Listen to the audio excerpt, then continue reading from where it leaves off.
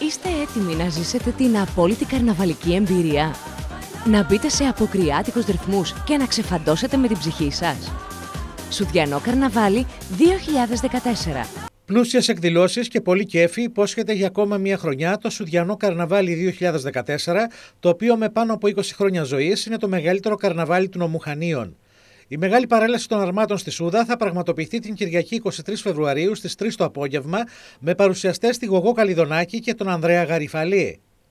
Ο Δήμος Χανίων στήριζε και στηρίζει αυτή τη διαδικασία, το, το, το, το καρναβάλι και καλούμε όλους τους χανιώτες και όλες τις χανιώτες και όχι μόνο να παρευρεθούν στις εκδηλώσεις του.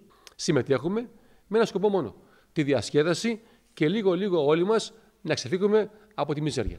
Είστε λοιπόν όλοι καλεσμένοι. Στην παρέλαση θα είναι 23 άρματα, τα οποία θα παρελάσουν και ζητάμε ποιο θέλει να δώσει τη συμμετοχή του και στα άλλα θέματα και σε καινούρια άρματα, αν θέλει. Το Σάββατο λοιπόν στις 15 Φεβρουαρίου κάνουμε ένα πάρτι στην πλατεία του 1866. Την Κυριακή είναι το κυνήγι χαμένου θησαυρού, ε, το οποίο διοργανώνει προσκόπη στην πλατεία της Σούδας με ώρα έναρξης 12. Στις 23, την Κυριακή 23 Φεβρουαρίου είναι η μεγάλη παρέλαση των αρμάτων και μεταφιεσμένων, το οποίο θα ξεκινήσει από τις 3 η ώρα στο Αθλητικό Κέντρο Σούδας με τερματισμό στην πλατεία Σούδας, το οποίο ακολουθεί ένα ξέφρενο πάρτι και πολλές εκπλήξεις για μικρούς και μεγάλους.